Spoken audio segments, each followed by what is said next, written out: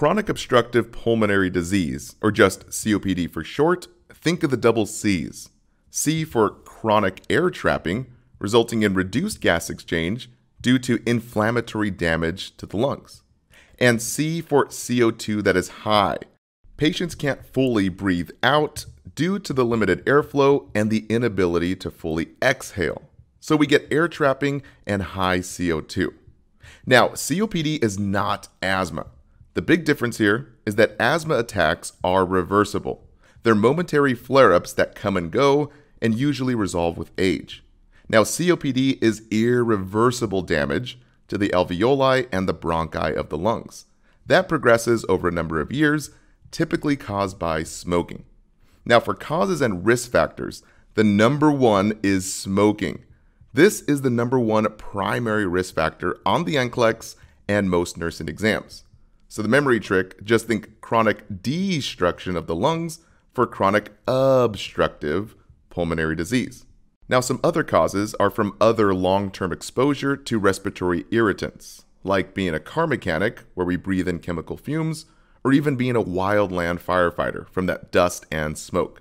But again, smoking is considered the number one primary risk factor, secondary to chemical exposures like car mechanics.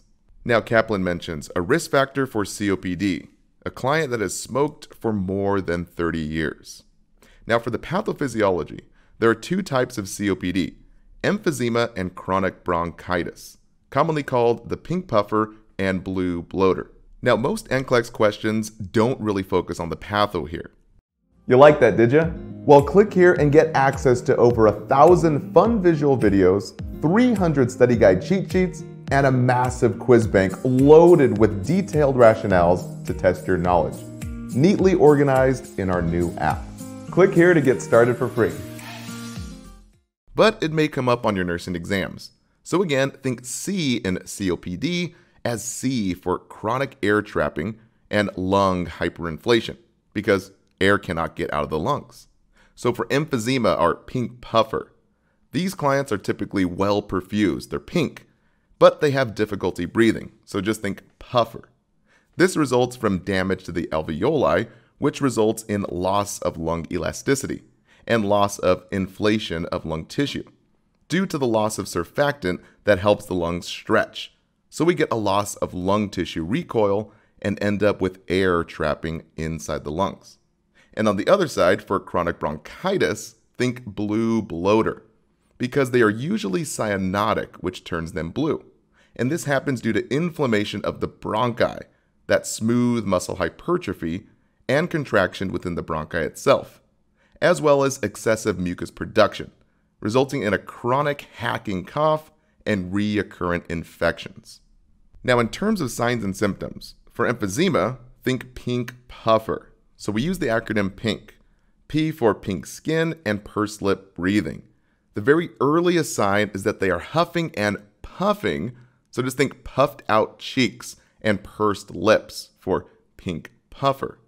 I is for increased chest, known as a barrel chest.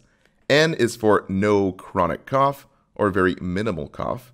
And K is for they keep on tripoding to get air exchange. So Kaplan mentions a client with emphysema. You'll find hyperresonance when percussing the lungs. So, yes, think high air trapping for hyperresonance there. And on the other side, for chronic bronchitis, we get that blue bloater so just use the acronym BLUE. B for big and blue skin, known as cyanosis. This is hypoxia. So just think big and blue. Typically, our patients are obese and have a blue body. L is for long term chronic cough and sputum, which cough is the earliest indicator for chronic bronchitis. U is for unusual lung sounds. We typically hear crackles and wheezes, and E is for edema that shows up peripherally. Thanks for watching. For our full video and new quiz bank, click right up here to access your free trial. And please consider subscribing to our YouTube channel. Last but not least, a big thanks to our team of experts helping us make these great videos. All right, guys, see you next time.